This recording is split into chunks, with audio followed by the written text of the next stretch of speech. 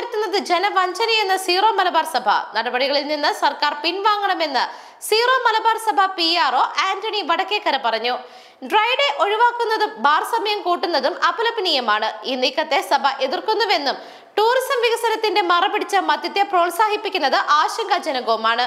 ബാർക്കോഴ വിവാദത്തിൽ രാഷ്ട്രീയ അഭിപ്രായമില്ല. അന്വേഷണം നടത്തി യഥാർത്ഥ വിവരങ്ങൾ പുറത്തു കൊണ്ടുവരണമെന്നും അദ്ദേഹം പറഞ്ഞു. അതേസമയം ബാർക്കോഴ വിവാദത്തിന് പിന്നാലെ ബാറുകൾക്ക് ഇളവ് നൽകാനുള്ള നീക്കങ്ങളിൽ നിന്നും പിൻവാങ്ങാൻ ഒരുങ്ങിയിരിക്കുകയാണ് സർക്കാർ. ഡ്രൈഡേ വേണ്ട എന്ന തീരുമാനം നടപ്പിലാക്കില്ല. വിവാദങ്ങൾക്കിടെ ബാറുകൾക്ക് ഇളവ് നൽകിയാൽ അത് ആരോപണങ്ങൾക്ക് കരുത്ത് പകരും. അതിനാൽ തൽക്കാലം നീക്കത്തിൽ നിന്ന് പൂർണമായി പിൻവാങ്ങാൻ ഒരുങ്ങുകയാണ് സർക്കാർ. എല്ലാ മാസവും ഒന്നാം തീയതിയുള്ള ഡ്രൈഡേ ഭീമമായ നഷ്ടം വരുത്തുന്നുവെന്നായിരുന്നു സെക്രട്ടറി തല സമിതിയുടെ കണ്ടെത്തൽ. ബാറുകളുടെ പ്രവർത്തന സമയത്തിൽ ഇളവ് വേണമെന്നും ശുപാർശയുണ്ടായിരുന്നു. പുതിയ മദ്യനയം ചർച്ച ചെയ്യുന്നതിനായി അടുത്ത മാസം വകുപ്പ് മന്ത്രി ബാറുടമകൾ അടക്കമുള്ളവരുടെ യോഗം വിളിക്കുവാനും തീരുമാനിച്ചിരുന്നു. യു ഡി എഫ് സർക്കാരിനെ പ്രതിസന്ധിയിലാക്കിയതിന് സമാനമായ അവസ്ഥ സർക്കാർ പ്രതീക്ഷിക്കുന്നുണ്ട്. അതിനാൽ തൽക്കാലം ഈ ചിന്തകൾ സർക്കാർ ഉപേക്ഷിക്കും.